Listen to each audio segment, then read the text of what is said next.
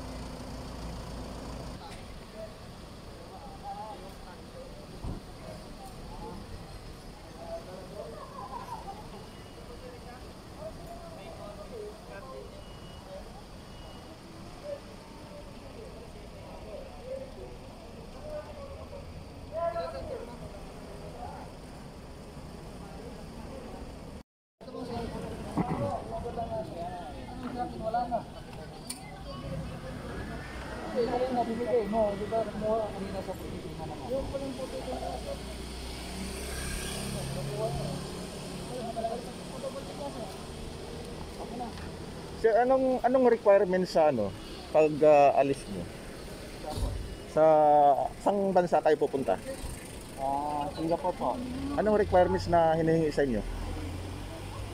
Ah, 14 days quarantine tapos ano, ah, dalawang swab test saka isang antigen test. Anong vaccine po ang ah, ginamit niyo? Sinovac. Pero wala wala namang required na ano sa vaccine.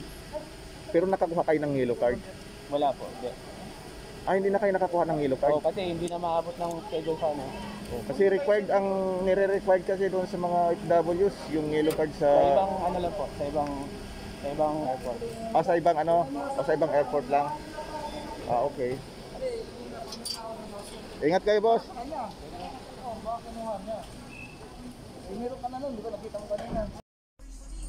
Walang ah, yellow card yung ilang ah, seaman na umalis papuntang ah, Singapore. Pero dati kasi nung ah, makapanayam natin si ah, Secretary Vince Dizon dahil ah, ilang ah, OFWs ang ah, umangal na dumating doon sa Hong Kong, hindi kinakilala yung ah, vaccination card dahil ang uh, nare-required kasi ng ah, World Health Organization itong ah, WHO ay ah, dapat kumuha ng ah, yellow card sa Bureau of ah, Quarantine. Yung ah, yun ang ah, kinikilala ng ah, ng mga bansa na pinupuntahan ng mga OFWs.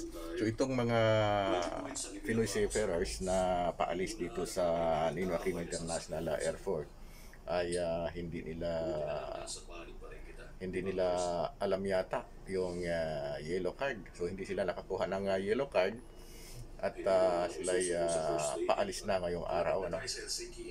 Pero sa kanilang ah, dala-dalang ah, requirements yung ah, RT-PCR test na isa sa mga requirements sa mga OFWs na papaalis dito sa bansa.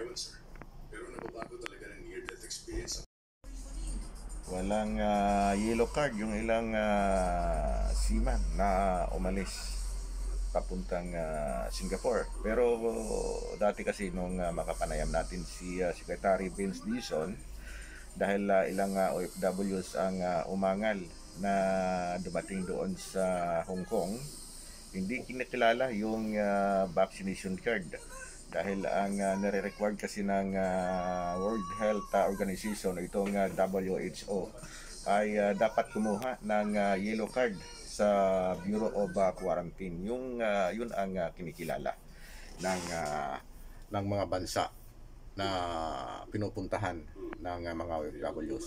So itong mga Pinoy seafarers na paalis dito sa Ninoy Aquino International Airport ay ah, hindi nila hindi nila alam yata yung ah, yellow card. So hindi sila nakakuha ng ah, yellow card at ah, sila ay ah, paalis na ngayong araw ano. Pero sa kanilang ah, dala-dalang ah, requirements yung ah, RT-PCR test na isa sa mga requirements sa mga OFWs na papaalis dito sa bansa. Pero nababago talaga ng near-death experience ang